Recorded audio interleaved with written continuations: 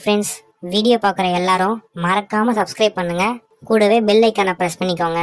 அப்பதான் நாங்கள் போடுற வீடியோஸ் எல்லாமே உங்களுக்கு உடனே நோட்டிஃபிகேஷனாக வரும். தேங்க்யூ ஒரு ஊர்ல ரவி அவரது மனைவி லதா வாழ்ந்துட்டு வந்தாங்க. ரவிக்கு ஒரே பையன். அவன் பேரு மாறன். ரவிக்கும் லதாக்கும் நிறைய சொத்து இருக்கு. எப்பயுமே ரெண்டு பேரும் பிஸியாவே இருப்பாங்க.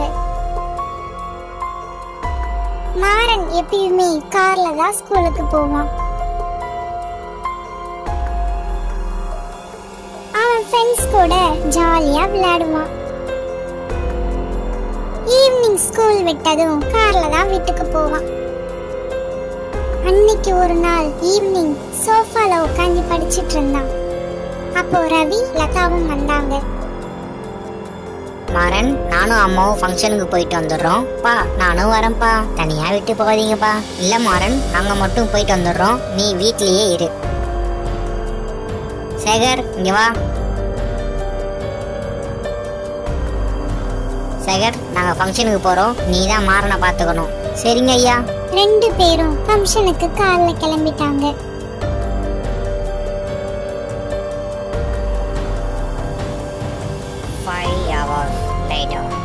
ஃபங்க்ஷன் முடிஞ்சதும் ரவியும் லதாவும் கார்ல வீட்டுக்கு வந்தாங்க.